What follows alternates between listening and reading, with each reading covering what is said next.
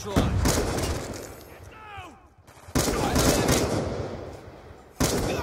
UAV on standby. Counter UAV on standby. Guardian ready to deploy.